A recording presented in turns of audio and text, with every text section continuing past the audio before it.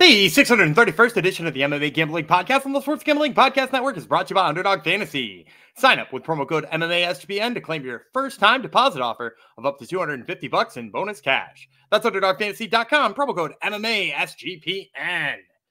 And we're also brought to you by Rithmm. Rithmm's college football and NFL projections are now live. Claim your seven-day free trial today by going to sportsgamblingpodcast.com slash rithmm. That's sportsgamblingpodcast.com slash R-I-T-H-M-M.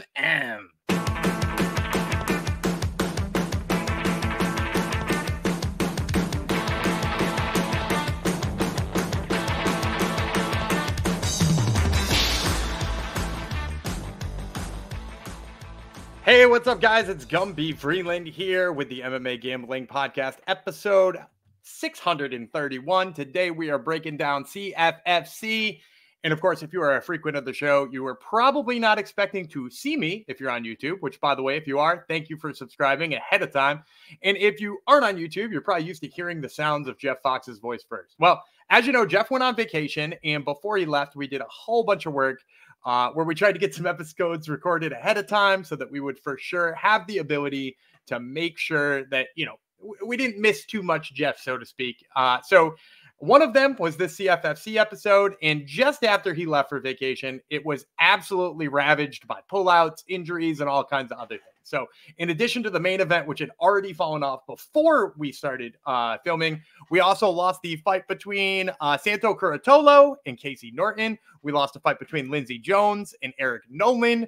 Um, a different fight entirely, uh, one between Frank Wells and Roma Kurashvili.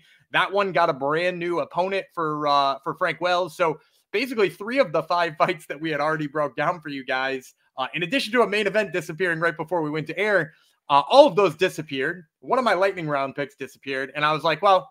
I simply can't turn out an episode here with three picks that you can't use, four if you count the lightning round, and only two or three of them that you can. So uh, what I decided to do is I went back to the drawing board. I grabbed my sheet. I broke down the three other fights that will be on this main card. Uh, I'm going to break those down for you uh, all by myself. We're going to do this completely solo. Then, as soon as those three fights are down, I'm going to switch it back over to the original broadcast where you will get me and Jeff chatting it up about the co main event, or at least what I'm going to call the co main event, which is between Angel Alvarez and Justin Montalvo. And then uh, we'll also break down uh, Chris Daukaus versus Tafon Nchukwi. So at the end of the day, you're still going to get five picks one of the lightning rounds picks is broken. The other one you can you can go ahead and enjoy. So six picks total at the end of this card, which winds up being pretty much the whole card until they find a way to fill it in because it has been blown up at this point. So uh, I wanted to make sure we got you guys present stuff, active stuff, all that kind of good stuff. Um, and so uh, before I begin breaking it down for you, let me go ahead and tell you about the bosses. The Sports Gambling Podcast launched their 32 NFL team previews, and they're giving away a $500 circa future for their listeners. Uh, make sure that you listen. You get a code word in every single one of them. And of course, then you get that chance to win that $500 futures ticket. Plus, the EPL returns. So make sure to check out the Soccer Gambling Podcast and the EPL Gambling Podcast for your footy fix. Subscribe wherever you get your podcasts and on the SGPN app. All right, guys. So, uh, kicking off what we're going to be talking about today, uh, I'm going to get everything started with a middleweight contest between Nick Galanti and Brandon Holmes. Uh, once again, you know, my my co-host usually cues you up uh, with the wins and losses on these guys, and you know, I, have got got the information here. I've got it nearby. I'm not uh, one of those guys who does uh, six hours of tapology work because I, will face it, I, am a film guy. I'm not a uh, tapology guy. So let me get you guys um, the real basics on these guys before I start breaking them down. So the first one, like I said, we're going to talk about middleweights Nick Galanti versus Brandon Holmes. So Galanti's 2 0. He has fought, you know, pretty much just the, the regular gauntlet of regional competition you might expect. Uh, and then Brandon Holmes, 3 0. He's been fighting a little bit lower end stuff. He's been outside of the CFFC. So as a result, usually when I see these kinds of things and I see guys, you know, one coming in from CFFC and one coming in from outside. Nearly identical records 2 0, 3 0. Usually you see the one coming from the organization coming as the favorite. So I'm going to ping Nick here as a slight favorite, let's say like negative 150 or so. And I'm going to go with him in this fight too. If he comes in anywhere south of uh, 200, I really like him in this fight. And the reason is, is if you watch Brandon Holmes' fight, I, you know, you can get one of his fights um, from the organization Fight for It, which is a, a promotion that happens in the uh, southeast part of the United States.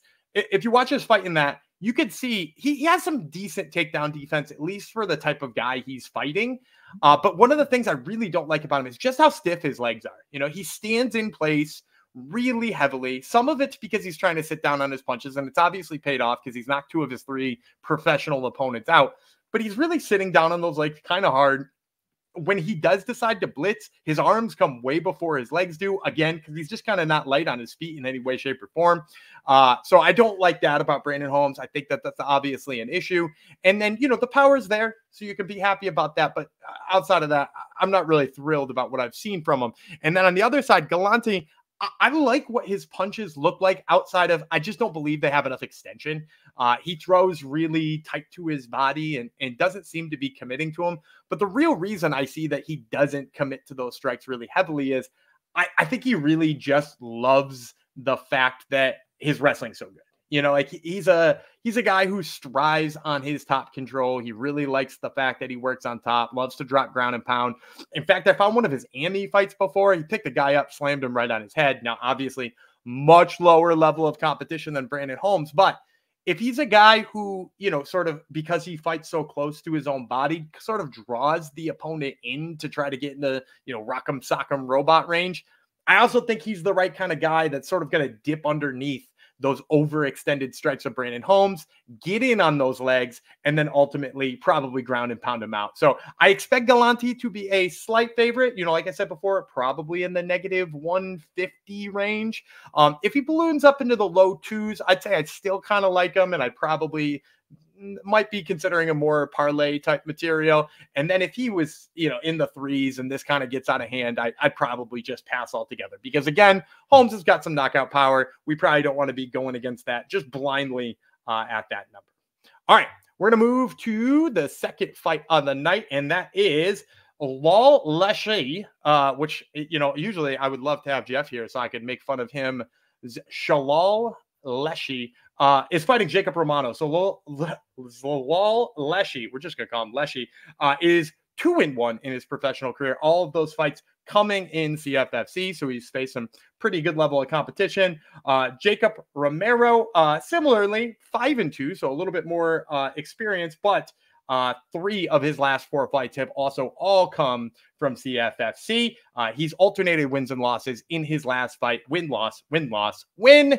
Uh, and whereas Lleshi is on a two fight winning streak, he lost his first fight and lost or and won the next two after that rather. So I expect just because you the sheer size of the record here, both of them coming from CFFC, Jacob Romano to be the guy who comes in as the favorite. I would expect it to be fairly significant, you know, probably low twos, maybe negative 225 plus 200 on the return for Lleshi. Uh, and I'm going to say, I actually like Lleshi in this fight. Uh, these two have a uh, an opponent in common. They both fought um fought and lost to rather uh fought and lost to Belal Hassan, who has turned out to be a really nice prospect uh, coming out of the Mid Atlantic region. 4 and 0 with like one no contest or something like that. Two of his wins are these guys right here. Um, but like if you look at the manner in which he beat those two, it is completely different. And I, you know, I'm not here trying to draw out the MMA math on you. I'm not one of those guys. I'm not an idiot. Uh, but I will tell you, like, sometimes you can draw some corollaries here. And in the Jacob Romano fight, like uh, every time Romano tried to get in on a takedown, and he got in on a lot of them, they were all single legs and he ate a ton of punches trying to do so. Uh, in addition to that, you know, Lleshi just brutalized him with the strikes in the clinch, knees to the body, bloodied him up at the end of the first round, and then hit him with a spinning wheel kick that had him trying to take down the referee after the fight. Like, I mean, Hassan took it to Romero. Uh, every time, again, he tried for a takedown, he paid for it. Now, I also think he has to kind of try to take for go for a takedown because I don't love what I've seen from him with the hands. Um, he's a little bit on the slow side on those. Um, his punches seem kind of rote, like you kind of can expect what to see of him, which I mean, I guess isn't the worst thing in the world when you're only a five and two regional fighter. Uh, but also, this is flyweight. This is a division that typically comes with lots of speed, lots of technique when it comes to that kind of uh, striking. And the piece that I dislike the most about Romano in this fight is I don't think he can wrestle Lleshi. Uh, Lleshi in that fight with Belal Hassan he, he was chain wrestling the heck out of that guy. You know, he was going from one takedown to the other. He had tons of control time. He ultimately lost a split decision in that fight. But the way he lost the split decision was basically one of the judges was like, man, Lleshi had tons of control time up against the cage, on the mat, making Hassan work. And then like kind of the damage was for the other two, you know, like the fact that he threw to the body and with knees when when Lleshi was coming in, the fact that when they did separate, obviously Belal Hassan was the better of the two strikers. So at, at the end of the day here, I, I, don't know too much of what Lleshi looks like on the feet because he doesn't throw that much. But I think whatever it is, he's probably fast enough to stay away from Romano. And then when you look at the two styles of wrestling, one guy goes for a single, and that's like it's single, single, single, single, single. And then the other guy is chaining things together and making things work. And I think his sprawl is probably better. So I'm going to go with the guy who I think is a little bit more of an experienced wrestler, a guy who, you know, if this was a five and two opponent versus a three and zero oh opponent, you usually see a really close line. But because he's got that one kind of sketchy loss in there, I think you're going to wind up with a really good line on Lleshi. So uh, give me Xhelal Lleshi over Jacob Romano. Uh, again, I think we're probably going to get right around two to one money. Now, for the final fight, we're going to go up to featherweight. The aforementioned Frank Wells, who I had actually just broken down a fight with Frank Wells. Uh, he was supposed to fight on this card against a Georgian fighter named Roman Kurashvili. Um, and uh, he's kind of a CFFC darling, as I mentioned in that breakdown, which of course you'll never hear. He's five and three, but he always gets really nice placement on the cards. Uh, all eight of his professional fights have come in CFFC. Um, you know, he's kind of one of their guys that I think they've always thought was going to wind up being a prospect, a contender series type guy.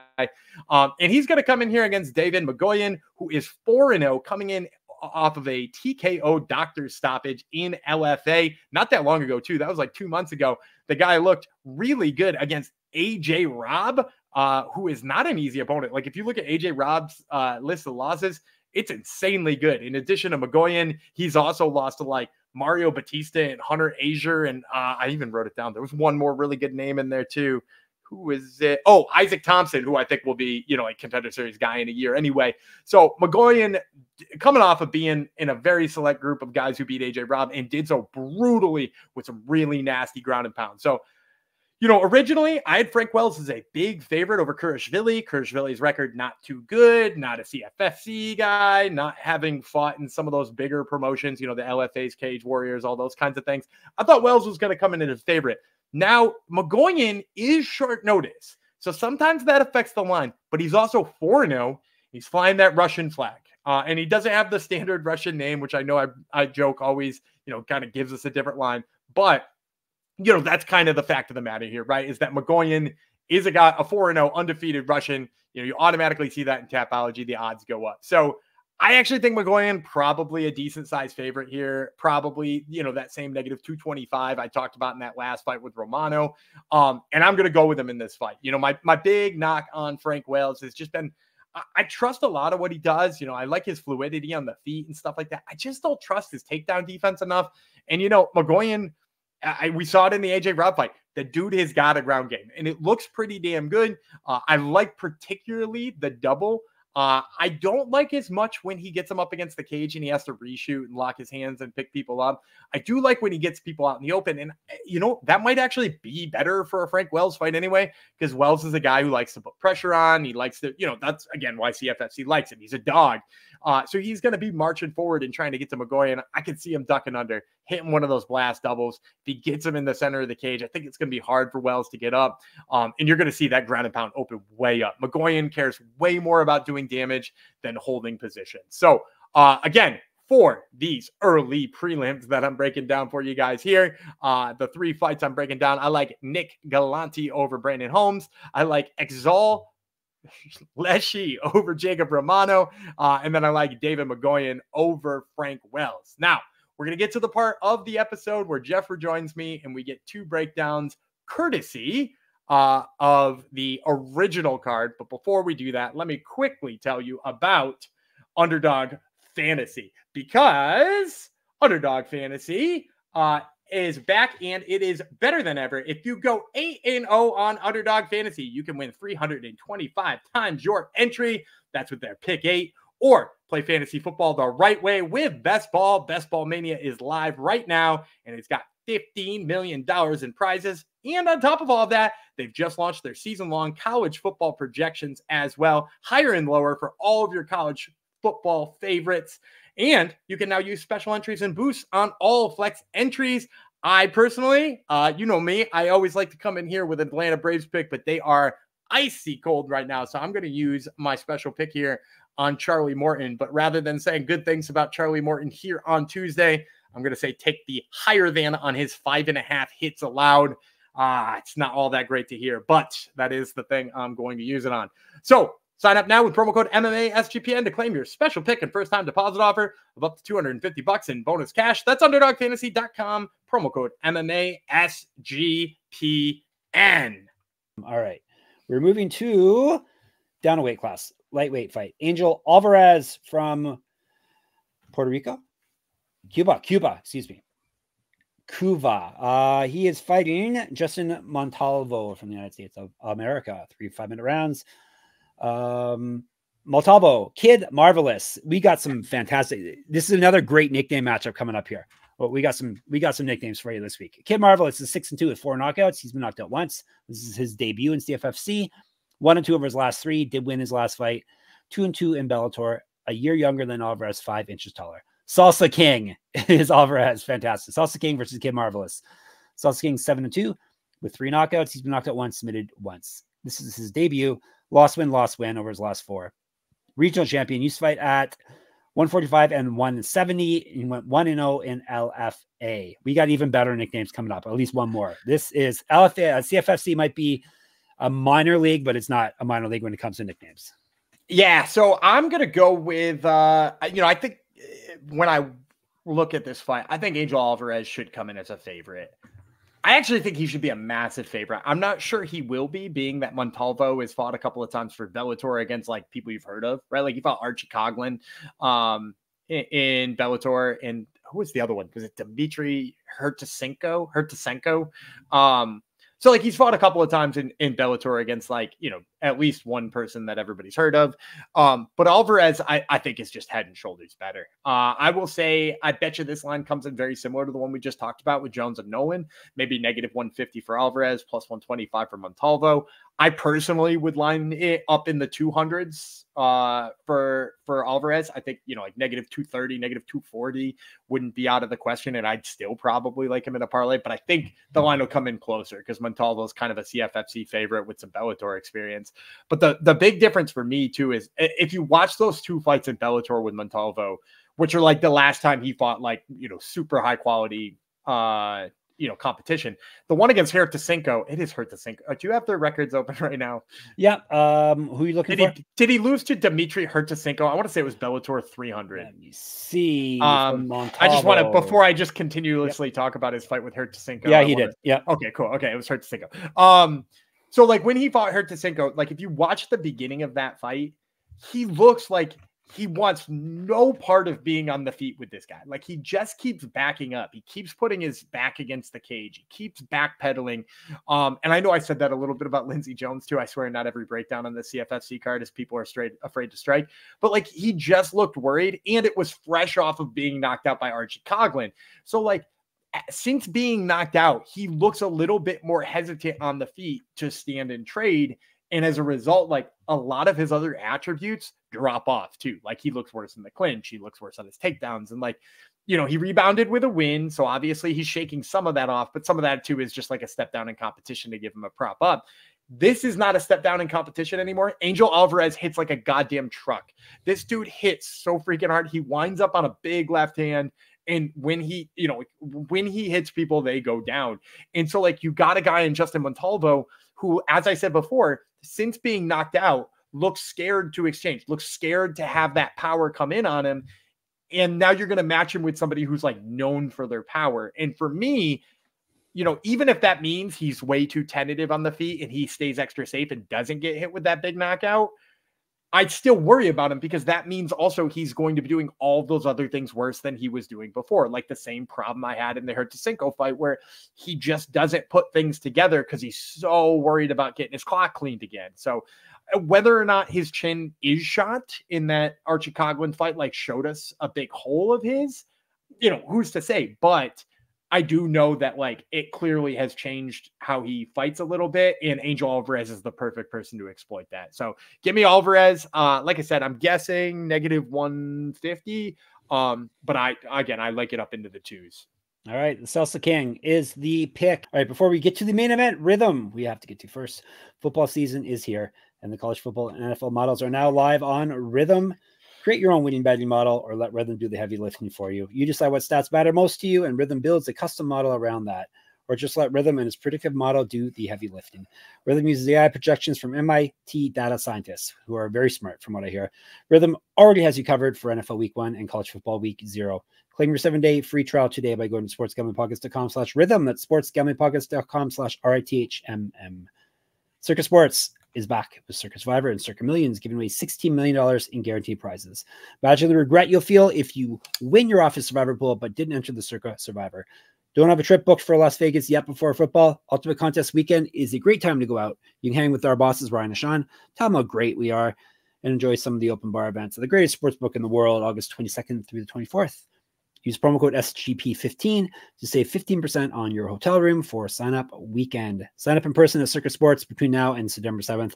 Use a proxy to play from anywhere. We even have a deal with a proxy. Go to proxy.footballcontest.com to save you 50 bucks with promo code SGP. All right, a couple of UFC cast offs, cast offs. Usually they travel the other way. They go from CFFC to the UFC. These guys did that and then they, they have come back. And that would be Big boys, heavyweights, Chris Daukaus, United States of America, Tefan and Chukwi from Cameroon. Three five minute rounds. Nchukwi is the Cameroon Express, six and four with four knockouts. He's been knocked out himself twice, 2 and 0 in CFFC. He's lost three straight fights, only won one of his last five. Has not won a fight since September 2021. Used to fight at middleweight and light heavyweight. Missed weight before at middleweight, but now he's got a whole 80 more pounds he can add on if he wants. Uh, 1 and 0 on Dana White Contender Series. Uh, five years younger than Mr. Daukaus. He's got an inch of reach, or is that height? Inch of reach on him. And I forgot to write down his UFC record. Record in the UFC was 2 and 4. Uh, as for Daukaus, 12 and 7 with 11 knockouts. He's been knocked out six times, submitted once. Four and two in CFFC. He's lost four straight fights, all via knockout or TKO. He's not won since September 2021, just like Nchukwi. Went four and four in the UFC, started off 4 and 0, then lost four straight. Used to fight at light heavyweight, 2013 pro MMA debut, two inches taller than Nchukwi. Yeah, Chris Daukaus is definitely a case of somebody who uh, did so well. He probably got himself a new contract, and that ultimately was the reason he got cut too. Um, because like if he was making a little bit less, they'd probably give him another shot. But um, I'm gonna go with Chris Daukaus probably as a favorite. I'm gonna say it's not gonna get too out of control because Chukwi is also a UFC veteran, uh, and Daukaus has been knocked out four times in a row. Um, so let's say like negative 200 for Chris Daukaus. I'm gonna go with him in this fight. I think um, you know, a couple of things at play here for me. Number one, uh, I like that Chris Daukaus is going back up to heavyweight. Uh, I I didn't hate his experiment with going to 205, but like, look, the best part about Chris Daukaus, the best part about his game, the thing that was winning him fights when he first showed up in the heavyweight division in the UFC is he's fast. He's fast for a heavyweight despite his build and despite, you know, that he doesn't look like much, you know, he's not one of those big hulking heavyweights who looks like they're, you know, huge and explosive. He's so fast. And he's so much faster than the average heavyweight. When you add in that he's got like a little bit of wrestling in there that can can play up, and that he's a decent, technically proficient boxer and has good power, like all of that plays up. So I love the fact that he's going back up to heavyweight. I think that's probably the right place for him. And I hate the fact that Tafon Nchukwi is going to heavyweight right? This is a guy who fought, and don't get me wrong, he missed weight at middleweight. He probably belongs at light heavyweight, but this is a guy who used to cut down to middleweight all the time and now is going up to heavyweight after being cut by the UFC. And which, of course, begs the question like, what what's this dude's motivation look like? Is he just not willing to put himself through a hard weight cut anymore and is just gonna, you know, beat up some regional heavyweights real quick and then try to catch uh, another break? Maybe, but also it just seems like maybe he's not able to make that weight anymore, is my guess. And he's he's probably working a little bit less hard now that he's not in a UFC training camp. I'm worried about his cardio. His cardio has always been bad. And if he's not, you know, doing the work to get his weight down, granted, he's not going to have to do a weight cut probably, but like I worry that he's maybe not got the cardio either. Daukaus is a guy who can go, you know, three hard rounds. I like that about him. Uh, I like the fact that as long as he stays away from the big bomb from Chukwi early, I think he will have more power later in the fight. Of course, it begs the question can he stay away from the big bomb early? He didn't in his last three heavyweight fights or his last light heavyweight fight, but I kind of think he's tech more technically sound on the feet. I like the way his hooks land. Uh, I think he probably backs up Chukwi. I'd like to see him just like lean on him for the first two minutes and just zap Chukwi's arms. I don't know if he'll do that, but I regardless, I like Chris Daukaus here. I think he's more well rounded. He stays away from the big bomb early and uh, edges this one out. All right, later round time, zap, bang, boom. Pow. So the the lightning round was a little bit trickier for me, being that they canceled a couple of fights. Yeah. Um. So one of the ones I like, I like Riley Palmer. He's a bantamweight coming up. He's won his first two pro fights. He looked really good doing it in those first two fights. Both of them by armbar. I don't know how sustainable that is on a long term, but does seem like they're giving him an opponent where hopefully he can just hit another armbar and like win again. So like it seems like they're lining that one up for him. Um, and then who else do I like? Lateesha Mohl, I guess, what could be my second one. Lateesha Mohl, she comes from a boxing background. She's going to be making her pro MMA debut. She did fight a bunch of times as an amateur MMA fighter, um, and she had a little bit of trouble with wrestling in there. Obviously, coming from a boxing background. Um, I even think she did some kickboxing fights, if I'm not mistaken. Um, but like you know, she she's got clearly the boxing chops she needs in order to hang. And uh, they're giving her, I want to say, an 0 2 opponent here first. Um, so you might not be able to get the best line in the whole world, but she's 0 0. So who knows? Maybe. Um, so those would be my two extra picks for CFFC 134. All right, we are done with the regional stuff. We are back with UFC. We got a big UFC pay per view going down in Perth, Australia. We're going to start kicking that off tomorrow with our prelim picks, the next day with our main card picks and some fancy mm-hmm. plays for you. In the meantime, we shall be in the Discord, sportsgamblingpodcast.com slash Discord. We shall be on YouTube, of course, MMA Gambling Podcast. Hit the subscribe button, please, and thank you. Smash it if you if you choose. Uh, Twitter, SGPN MMA is our account. Gumby's at Gumby Vreeland. I'm at Jeff Fox Writer. I'm the same on Instagram. Get it in my Substack. Enter my pick'em contest for UFC 305 at moneymma.substack.com. Listen to Gumby's Top Turtle MMA podcast. He's got a couple Aussies on this week. Yeah, Sean Cauchi, uh, who's got crazy KO power at bantamweight, uh, and Cody Hadone, who is uh, up and coming flyweight. All right, so check that out. And of course, we're at sportsgamblingpodcast.com, sportsgamblingpodcast.com slash store, sportsgamblingpodcast.com slash Patreon. So you get some uh, bonus content for us. Uh, we'll be back tomorrow. Like I said, Wonder Bread Warrior, Jeff Fox, Salsa King, Gumby Vreeland. We'll talk to you then.